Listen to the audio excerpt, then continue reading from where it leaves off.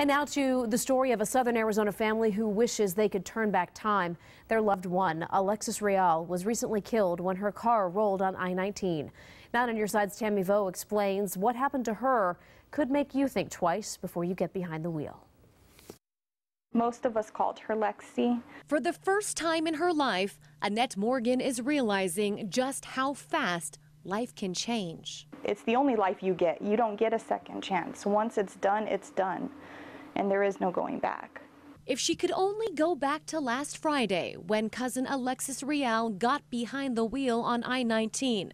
Headed for the movies, she said goodbye to her little boys. It happened so fast. She left her boys shortly before 9 and by 9:30 she was gone. One of her brand new tires blew out. The car rolled. Alexis was ejected. She was not wearing her seatbelt. Do you think that had she been wearing her seatbelt, she might still be here?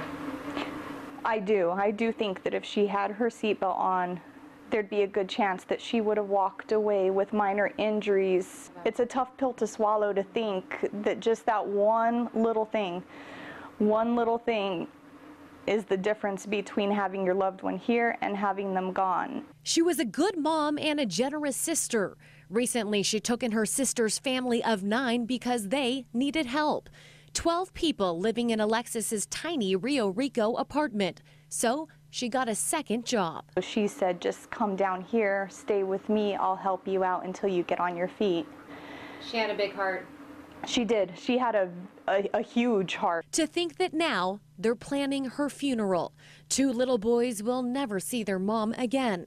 A sad reality triggered by a simple tire blowout and a simple decision not to buckle up. You know, why couldn't you have just had your seatbelt on? There's a lot of pictures that depict her in her vehicle in the driver's seat with no seatbelt on.